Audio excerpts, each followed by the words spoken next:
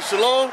We the Hebrew Israelites out here once again, another beautiful weekend to prophesy the total destruction and downfall of your beloved country, America, aka Babylon.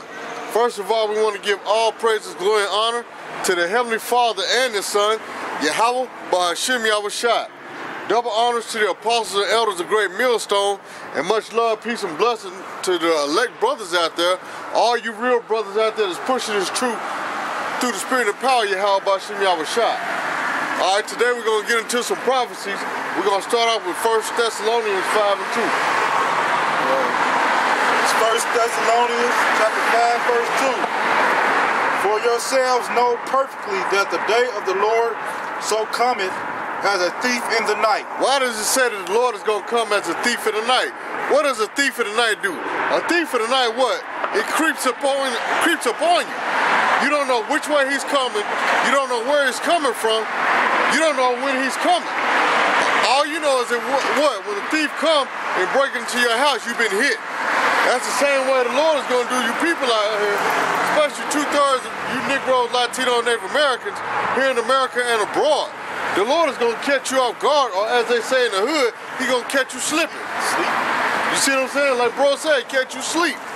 Why? Because you're not awake to the fact of what's going on out here in this world. That's why the Bible said the Lord is coming as a thief in the night. Does a thief warn you when he coming? No, he just hit your house, take all your goods and leave. That's what the Lord is going to do.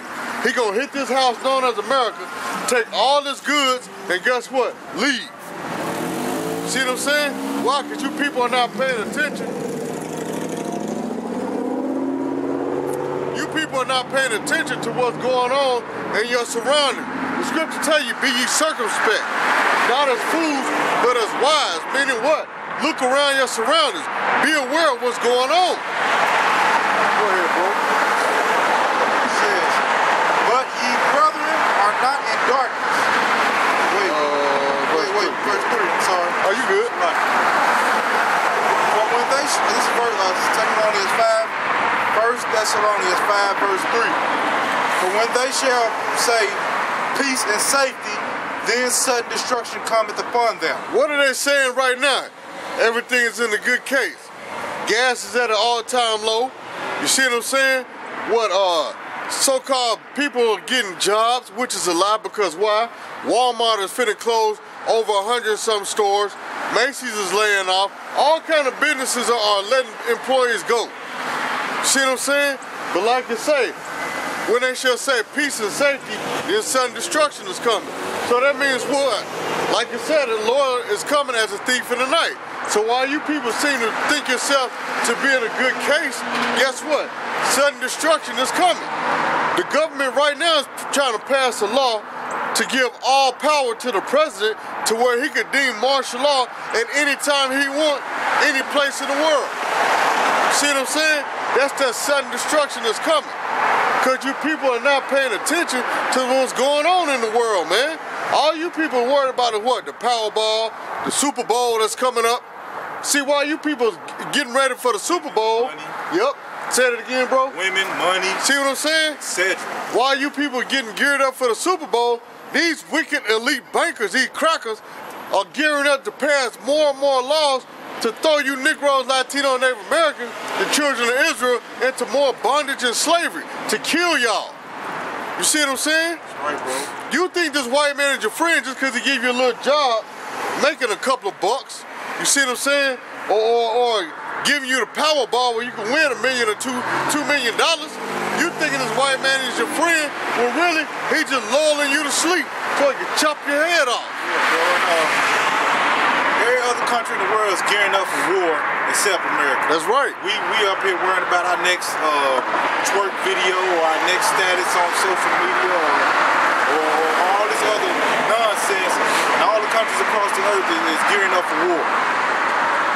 That's why we're gonna be taken down so easy, man. That's right. The Lord is preparing us for this big takedown that's gonna happen in America, man. That's right.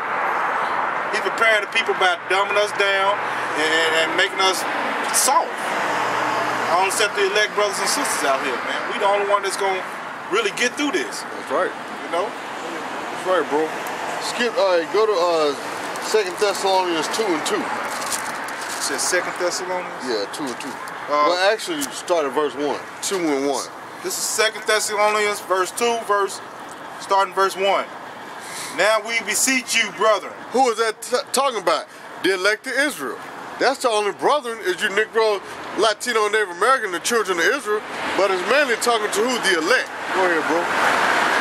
By the coming of our Lord Yahawashi, by our gathering together unto him.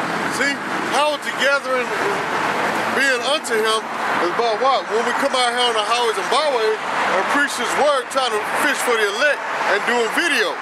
See, we out here fishing for the elect. That's how we uh, doing the gathering for Yahawah Shem Yahawashi. Go ahead, bro.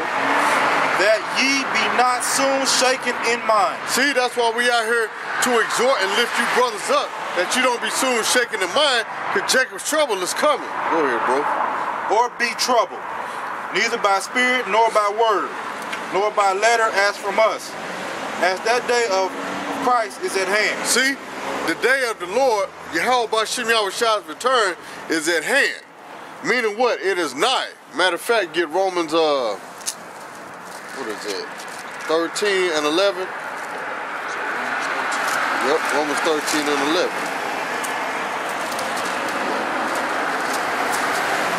This is Romans chapter 13, verse 11. And that, knowing the time that now is is it is high time to awake out of sleep. That's what we, that's what we out here telling you people. To awake out of their stupor, that blindness. Take that veil off your face and see what's going on out here in the world, man. So you can be prepared when you have about Shem shall return. And what we're telling you, come back to the law, statute, commandments before it's too late. Go ahead, bro. That's almost a precept to what we read. You know, the Lord coming as a thief in the night. He telling you guys to wake up so you won't get caught when he come, man. That's what's happening right there. All right. Go ahead, bro. What, what was it, verse 11? Yeah, 13 and It 11. said, and that knowing the time that now is the high, it is high time to awake out of sleep. For now is our salvation nearer than when we believe. See, we we ain't looking at the Lord coming back 10 or 15 years from now. We're looking for the Lord to return any day now. It ain't like it was 20 years ago when we had time to plan out for our future.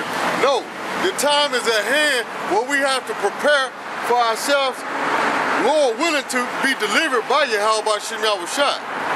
So how do you get yourself prepared? By coming back to the law, statutes, and commandments of this Bible. Try to keep the laws and commandments to the best of your ability.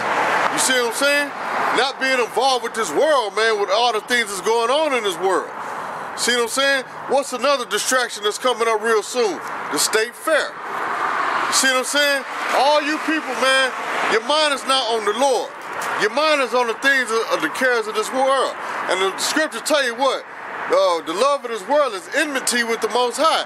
Meaning what? You become an enemy to the Most High when you fall into the cares of this world. When you don't focus on the law, statute, commandments of the Bible. See what I'm saying? That's why a lot of you niggas that, that claim you Israelites are unruly niggas, man. Why? Because you have no fear of the Lord. See what I'm saying? You're not preparing yourself for the Lord's return. You're trying to stay here another 30 or 40 years. You want to see your kids grow up instead of focusing on what? Being in the kingdom. Why? Because y'all don't have a rulership mentality. You love being slaves here. See what I'm saying? What you got, bro? Uh, no, you keep going. Verse 12. Okay. This is uh, Romans 11, I mean 13, verse 12. The night is far spent, the day is at hand. Let us therefore cast off the works of darkness, and let us put on the armor of light. And what is that armor of light? The knowledge, wisdom, and understanding of this Bible right here.